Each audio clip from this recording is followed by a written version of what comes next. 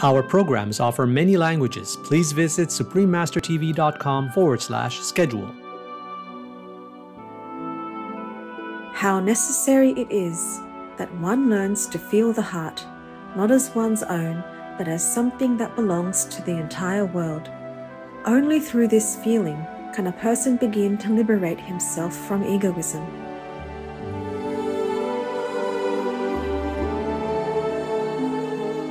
Please continue watching for messages from the Agni Yoga volume Heart by Nicholas and Helena Roerich.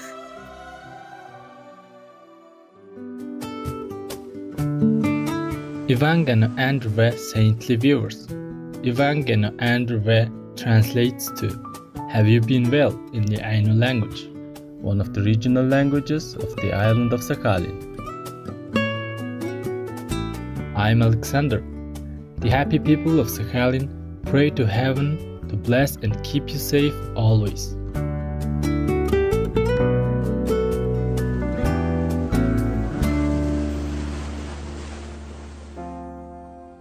The esteemed mystical and philosophical writers Nicholas Roerich and his wife Helena Roerich are two of the most influential spiritual thought leaders from Russia. They are recognized for founding a doctrine called Agni Yoga, also known as living ethics, believed to be a synthesis of all yogas, spiritual disciplines. Agni Yoga focuses on the daily practice of love, beauty, and noble action. Nicholas Roerich was also a very cherished artist whose illuminating paintings, charged with the energy of his mystical experiences, drew many pilgrims from around the world.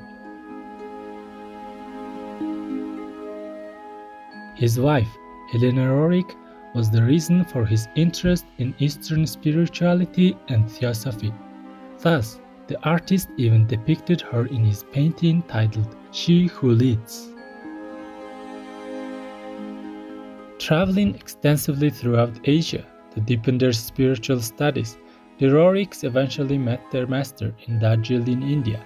The ascended venerated Master Morya, also known as El Morya, is a master of a great white brotherhood, an order of ascended masters and their incarnated disciples, one of whom was Helena Blavatsky.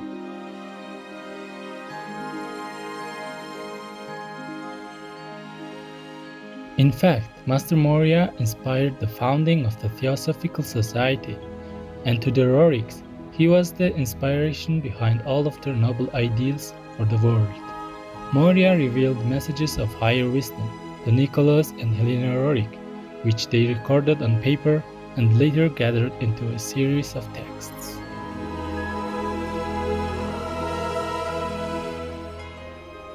Today we continue with an excerpt from Helena and Nicholas Roerich's volume, Heart, which is part of the series entitled Science of Agni Yoga. Through these treasure writings, the spiritual messengers remind us that the heart needs to be liberated in its connection with universal energy.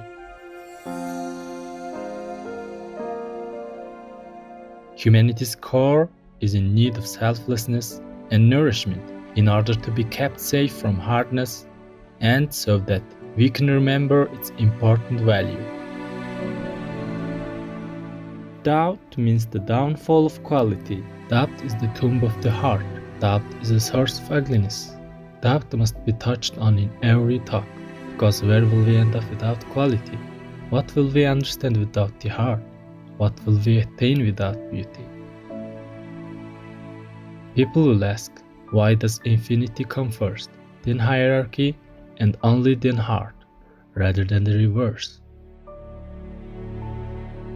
But first comes the direction, then the link, and then the means. One must not mar this sacred means with doubt. Let us observe the quality of a person's pulse when he is experiencing doubt and also when he is engaged in faithful striving. If doubt is able to change the pulse and emanations, what physical deterioration it may work upon the nervous system. Doubt devours psychic energy. After thinking about doubt, let us recall treachery itself. For who is more intimate with doubt than a traitor? One can overcome this darkness only through communion with the hierarchy, with the most inevitable, partaking of it as one with the radiance of the sun.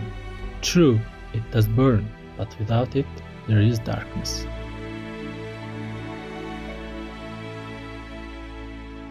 The heart may be the focus, but it is the least egocentric of all.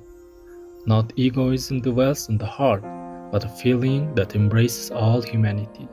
Only reasoning shrouds the heart in a web of egocentricity.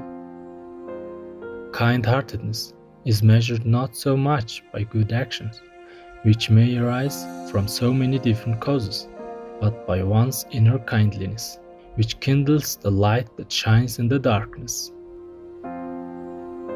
In this sense, the heart is truly a transnational organ. If for us light is a symbol of the aura, its parent will be the heart. How necessary it is that one learns to feel the heart not as one's own, but as something that belongs to the entire world. Only through this feeling can a person begin to liberate himself from egoism while preserving the individual nature of his accumulations. It's difficult to embrace both individuality and universal containment, but there is good reason for the magnet of the heart to be connected with the chalice. You can understand how the heart radiates a special light that is refracted in every possible way by the substance that composes the nerves. The crystal of the psychic energy can be colored in so many ways. It is very difficult to purify the heart if the web of egoism is making it fat. The fat of egoism is a bestial inheritance. The pure accumulations of individuality can explain things of which the reason cannot even conceive. It is especially difficult to impress someone with a notion that has never entered the circle of his imagination.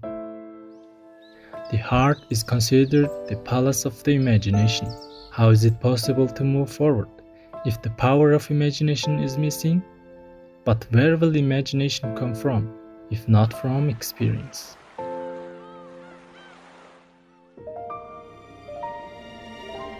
Heartlessness is nothing but an uncultured state of the heart.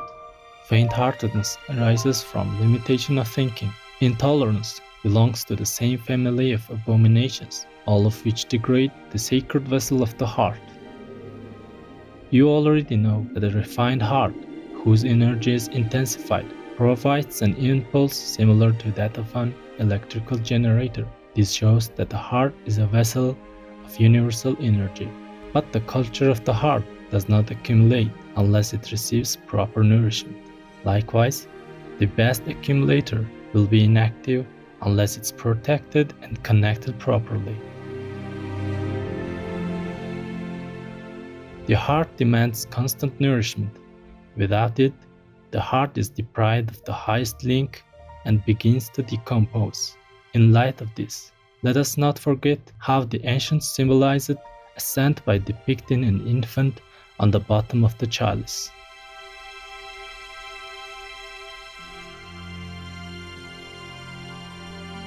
By conducting a rarely performed experiment, you can see how the heart reflects even distant earthquakes and other world events. You can note how not only cosmic perturbations, but even reflections of the spirit's radiation act over great distances. We pay attention to the transmitter of prana to the lungs, which pass the essence onto the heart as a way to establish universal equilibrium. The new achievements being made in the subtle body are now being crowned with success. These achievements could no longer be deferred because the foundation of the link, the magnet of the hierarchy, was being violated. As an aid in the restoration of the violated equilibrium, a new kind of subtle body is being developed.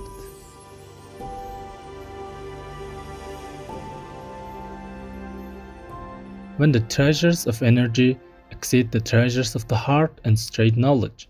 A co-worker mentor is usually sent to establish equilibrium. A professor actually was attached to Washington, and the sage of the mountain was with Genghis Khan. Many similar examples could be cited. You should regard this as something that enhances their activity, not as an absolute requirement. There are also many examples when men of action rejected such cooperation, thereby bringing irreparable harm not only to themselves but also to the common good. We have experienced such refusals time and again. Precisely, it was the heart's lack of development that prevented an increase in the possibilities that had been built up by past accumulations. Our hand will not get tired of extending the saving thread to the heart, who can justly say that we were late in offering help. But we can cite many occasions when our messenger was frozen by people's heartlessness. It is so hard to bring into action the potential of the heart one must manifest a flight over the abyss, as if soaring from the last shore into the infinite. How sacred is the courage of selflessness, which opens up the heart.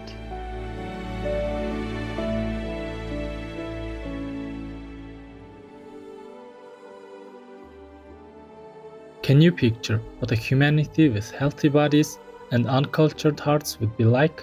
It is difficult even to imagine such a feast of darkness all the illnesses and infirmities in the world are unable to restrain the rampant madness of the heart. Truly, so long as the heart remains unenlightened, illnesses and infirmities will not be eliminated. Were that not the case, the frenzy of the heart coupled with powerful bodies would horrify the worlds. Long ago, it was said of a righteous man that he walked before the Lord which meant that he did not violate the principle of hierarchy and thus had purified his heart. Through even the slightest purification of the human heart, one can derive a cascade of blessings. Nowadays, it is all right to act, if cautiously, not only in cases where the heart has not decayed. You should not get depressed about it, but you need to know that the darkness has intensified and many hearts are putrefying. The significance of the heart is an old truth, but this truth has never been so needed as now.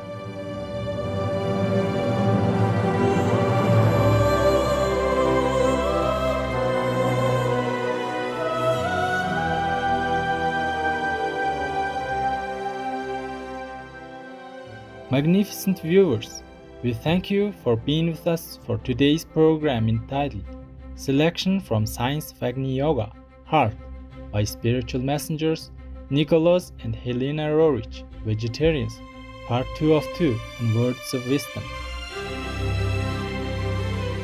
Coming up next is Heaven is Beautiful Near Death Experiences of Reverend Peter Panagore, part 404, right after noteworthy news. Please stay tuned to Supreme Master Television for more uplifting programming.